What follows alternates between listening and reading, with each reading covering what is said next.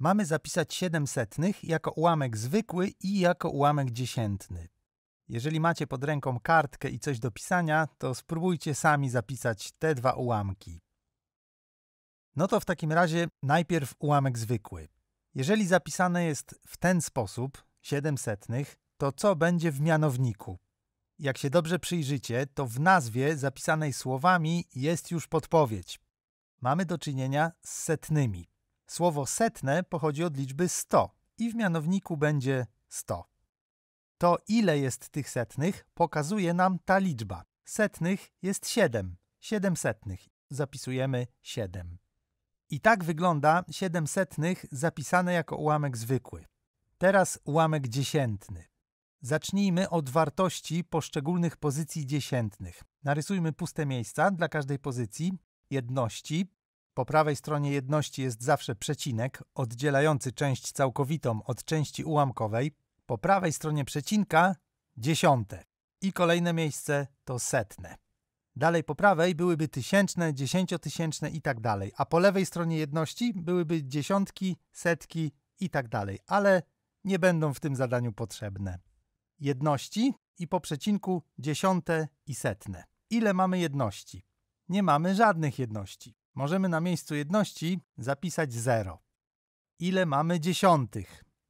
Też nie mamy żadnych dziesiątych. Też wpisujemy 0. Ile mamy setnych? Mamy 7 setnych.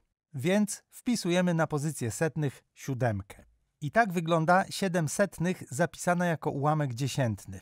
Bez dodatków opisujących pozycję byłoby tak: 0 jedności, 0 dziesiątych i 7 setnych.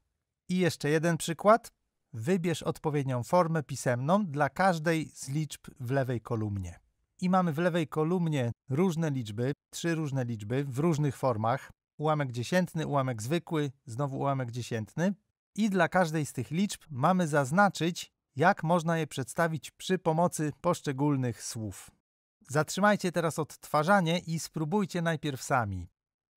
Pierwsza liczba, ułamek dziesiętny, nie mamy jedności, po lewej stronie przecinka jest 0, po prawej stronie, bezpośrednio po prawej stronie przecinka, na pierwszym miejscu po prawej stronie od przecinka, mamy pozycję dziesiątych. To są dziesiąte, dziesiąte części całości. I widać wyraźnie, że dziesiątych mamy 4. Zaraz po prawej stronie za przecinkiem stoi czwórka, 4 dziesiąte. Czyli ta liczba to 4 dziesiąte. Możemy zaznaczyć tutaj. 4 dziesiąte. Na filmie to zamalowuję, ale jeżeli będziecie robić ćwiczenia na Khan Academy, to wystarczy kliknąć. Drugi ułamek. Ułamek zwykły. Jeżeli w liczniku jest 4, a w mianowniku 10, to to są 4 z 10. 4 części z 10.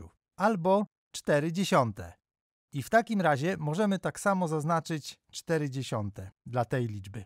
Ostatnia liczba, znowu ułamek dziesiętny, nie ma jedności, 0 po lewej stronie przecinka, również 0 dziesiątych, 0 po prawej stronie przecinka, ale mamy setne, 4 setne, bo na drugim miejscu w prawo po przecinku stoi czwórka. 4 setne to ta kolumna. Zaznaczamy tutaj.